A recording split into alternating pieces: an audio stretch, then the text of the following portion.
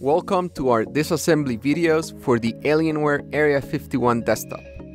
Before you begin with the disassembly, make sure to review our electrostatic discharge and precautions video. To learn how to open the panels, we have a video in place that you can visit, and remember that all the links will be in the description below. First, locate the RAM modules on the computer near the CPU each one is held by a plastic tab on the top, so make sure you press that to remove the module.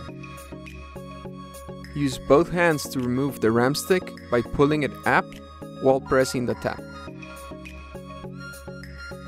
Repeat this process for each module until you're done.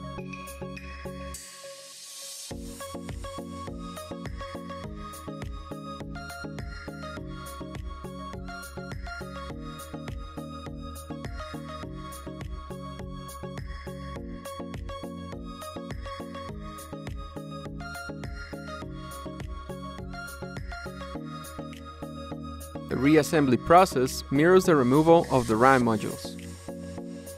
Simply make sure that all the pieces are firmly in place and reconnect the power cables at the end. If you have any questions, make sure you leave a comment below and don't forget to follow us on Facebook and Twitter. Thanks for watching.